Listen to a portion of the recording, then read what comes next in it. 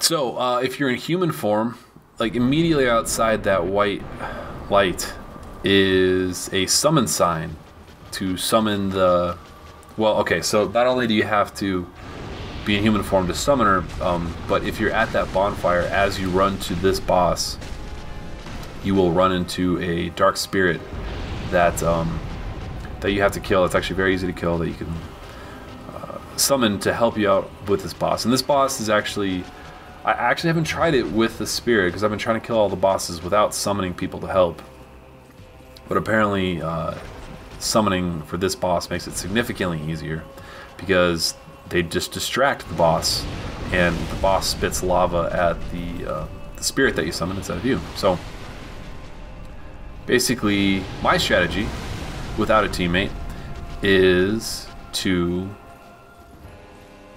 avoid okay avoid her melee attacks. Don't bother attacking her until you see that the that the spider is about to start spitting lava start vomiting lava. Just keep running away from it.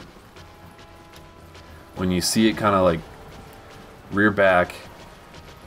So you can kind of tell hmm, this is just another one of those pattern recognition things you can tell when she is about to attack because the woman that's kind of like on top of the spider um, her arm starts to swing back and that means it's going to be one of those fire lance attacks basically but when you can see the spider the head of the spider kind of um, move back a bit, that means that the spider is about to start vomiting lava.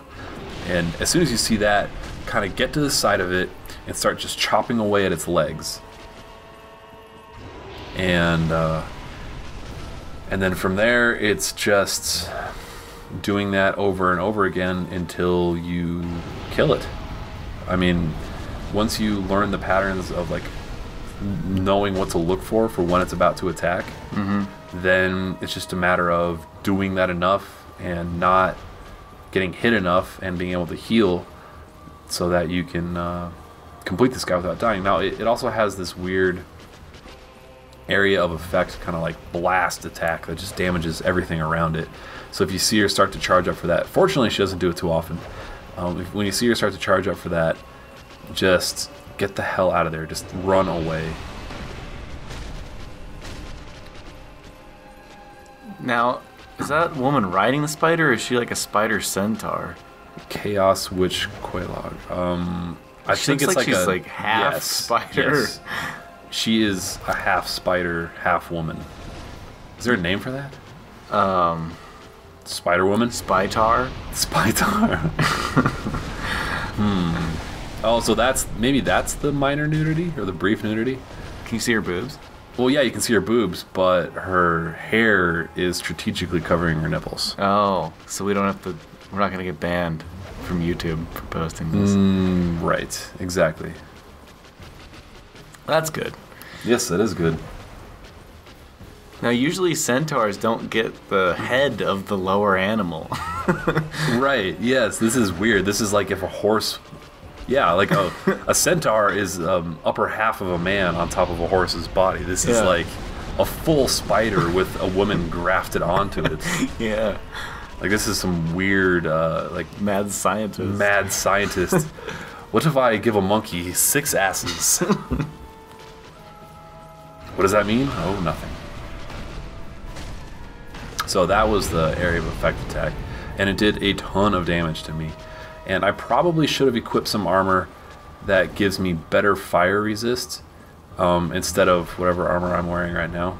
I'll put the armor that I'm wearing right now in the notes, but um, yeah. So always try to be at full health if you can, or at least two thirds or more. If you're kind of in a general ball, ballpark of health as I am, because that that area of effect attack it, it is fairly hard to dodge, and it um and it it's very hard to like it, it just does a ton ton of damage. So the vomit, you know, th- this boss fight kind of reminded me of the remember that Berserker boss fight in Gears Three, the walkthrough that I just made, where like he would, um, like in the second half of the Oh, boss yeah. fight, he would uh, be leaking the Imulsion all over the ground. You couldn't touch it. and you couldn't touch it. You couldn't even touch it. Like this, you can kind of touch. Like if you get hit by it, you're fine, but it still kind of zones the Playing field. the playing field in ways that are, are to the boss's advantage and not to yours. Like it, you know, the the landscape of the arena that you're fighting in are constantly changing because of these this uh, lava vomit that the spider keeps producing. Yeah. Did you say what the reward is for this? Um, the reward for this is you get to ring the second bell, Oh, which is so another major milestone. big uh, achievement. Yes, it is an achievement actually. After this video, Is your you- fourth achievement? something like that. yeah. Forty hours in, and I got. You get an achievement per ten hours. At this rate, I'll be done in 2013. so apparently, you have to beat the game three times, or at least beat the game twice, and get partly through your third time through the game to get all the achievements. you have to do say that again.